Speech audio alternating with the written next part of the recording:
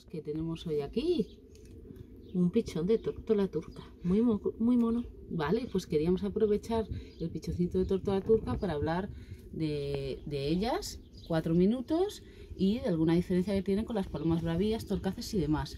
Bueno, lo primero es que la instalación va a ser la misma, lecho higiénico, siempre poder ver las deposiciones.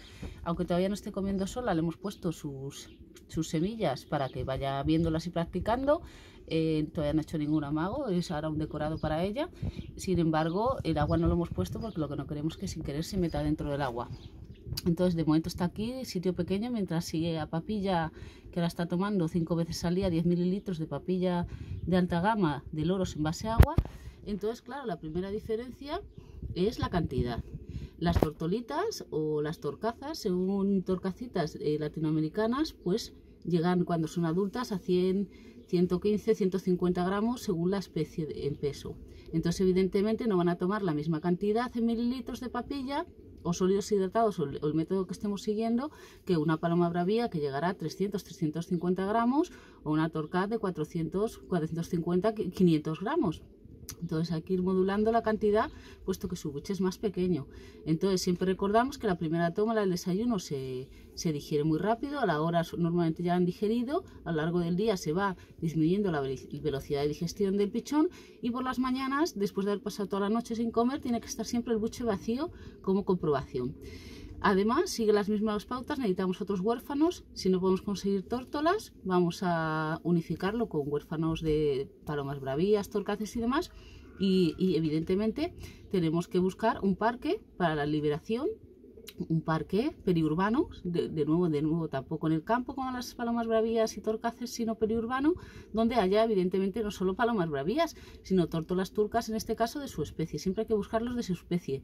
En Latinoamérica tenéis muchas tortolitas, pues sí que muchas veces vienen a comer a, los jardines y terrazas, pues ahí puede ser una integración directa estupenda desde el hogar, si ya tenéis una bandada que viene a comer, porque allí hay casi más tortolitas que palomas bravías. Entonces, bueno, ¿qué más diferencias se te ocurren? Bueno, lo primero que hay que conocer es que estas suelen aparecer en el suelo de los parques. ¿Por qué? Porque anidan, anidan casi todas todavía en árboles, ¿vale? En niditos muy precarios y salen un poquito antes del nido, entonces se suelen caer en parque, no como las palomas babias que buscan oquedades en los edificios. Si bien cada vez las palomas torcaces y las tórtolas están haciendo un poco más valientes y acostumbrándose más a la distancia de seguridad con el hombre a disminuirla y están anidando algunas más pues en balcones, en alguna macetera y demás. Pero ellas en general, eh, la mayoría siguen anidando en árbol.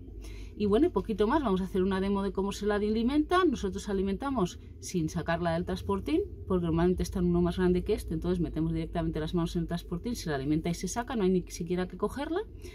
Y luego ya pasará a una estancia más grande de tela para que no se dañe, etcétera, etcétera. El proceso que tenéis en un montón de vídeos para las palomas bravías y demás es el mismo para las tortolitas. Otra cosa importante que no quería olvidar es que no se nos puede pasar el arroz.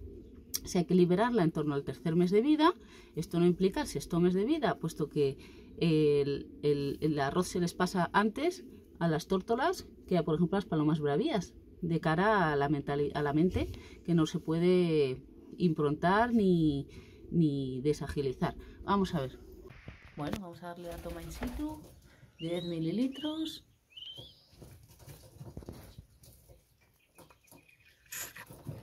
Y algún piñoncito. ¡Ay! ¡Qué hambre! ¡Hambre! ¡Qué hambre!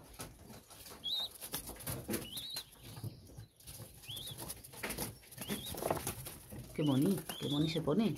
Sí, porque tiene hambre. Mira, un poquito de grano para que vaya haciendo buche. Así lo más que has metido. Bueno, porque solo para que... Ya. Bueno, ya está.